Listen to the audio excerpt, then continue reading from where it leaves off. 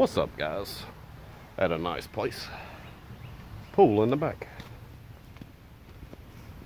This is a daily vlog. We'll make this short. I'm actually walking around this house getting stuff up because we're pretty much done here. Pretty nice place.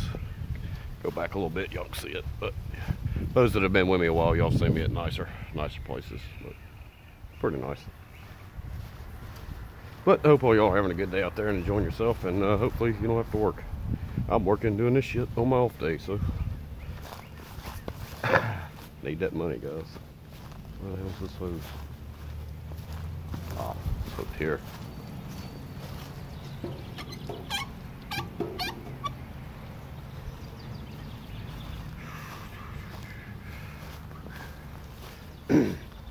Much going on though, guys.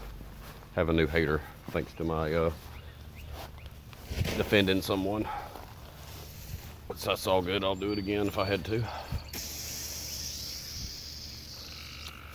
Damn, some crazy girl. If it is even a real girl, who knows? Could be some douchebag guy. Probably is. Trying to cause trouble for me and Fire Farah.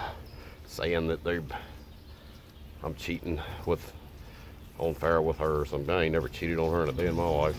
We've been together like four years married for going on being married for four years, so it's bullshit. Whatever that person says is all bullshit. I don't know them. Never have and never will. They better hope I never do get to meet them. Won't be good. But anyway, they're douchebags and they'll probably watch this. And they will remain unnameless. People are idiots. But anyway, that's about it for that. I'm not going to be getting into a bunch of hate shit.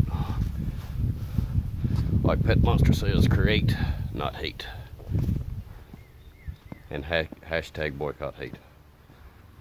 So you, you haters get a damn life and leave people the hell alone. It's retarded. But I'm on this vlog. I got work to do. I will holler at y'all later. Be safe out there. Keep your eyes, your ears open, and always keep it real. Love you guys. See y'all later.